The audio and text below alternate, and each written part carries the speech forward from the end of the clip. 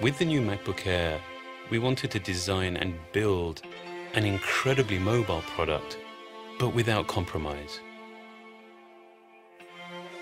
Everything that we've learned designing really powerful notebooks and everything that we've learned designing really small mobile devices culminates in the new MacBook Air.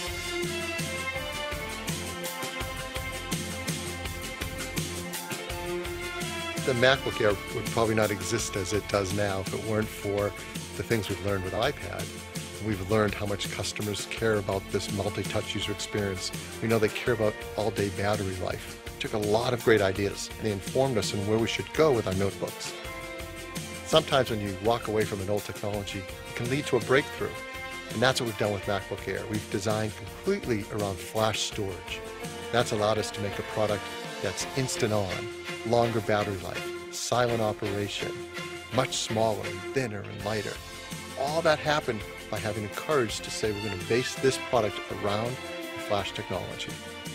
The key thing we've learned is touch is extremely important how we interact with our software. If we had tried to build it into the display, we discovered that it's not in an optimal position. You don't feel comfortable holding your hand up in the air and trying to multi-touch. The best way to deliver multi-touch in the notebook is through the trackpad. So in the MacBook Air, we've built in a large glass multi-touch trackpad right below the full-size keyboard. We've done all this in an amazingly thin and light design. The 13-inch MacBook Air weighs just 2.9 pounds and measures 0.68 inches at the rear. Then it tapers to just 0.11 inches at the front. And for the first time ever, we've made an 11-inch MacBook Air. It's just as thin but it only weighs 2.3 pounds. These are the thinnest and lightest notebooks we've ever made. While it is really challenging designing something that's this thin and this light, it's really, really hard to design something that's also strong robust and this precise. Creating structure and features from a single piece of aluminium reduces multiple parts to a single one that is not only very thin, very light, but has incredible structural integrity.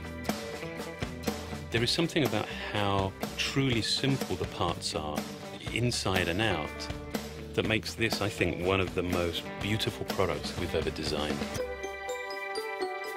One of the key design decisions that we made early on with the new MacBook Air was to use flash for storage.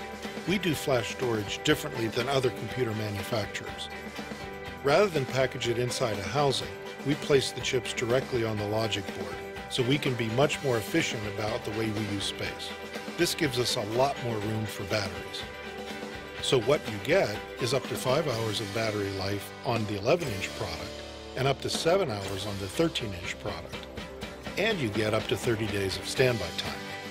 One of the things we're proud of with the new MacBook Air is it's a real MacBook in every sense of the word. It has a FaceTime camera, a dual-core processor, and fast graphics to drive ultra-high resolution displays. And when you connect it to a 27-inch cinema display, you can power almost 4 million pixels of image.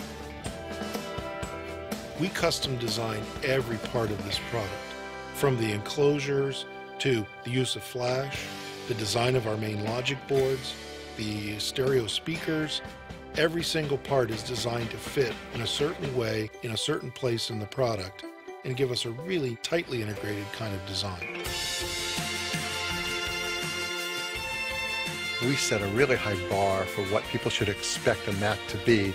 You get incredible displays, you get fast CPUs, you get great flash storage, you get great graphic performance, all in something that's really small and light and really affordable. It starts at just $9.99.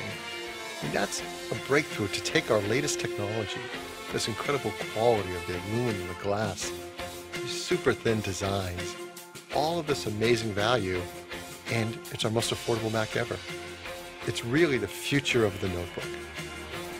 I mean, our, our learning just keeps building from one project to the next, to the next. That's absolutely the case here. I mean, years and years of designing such a range of different products enables the design of the new MacBook Air.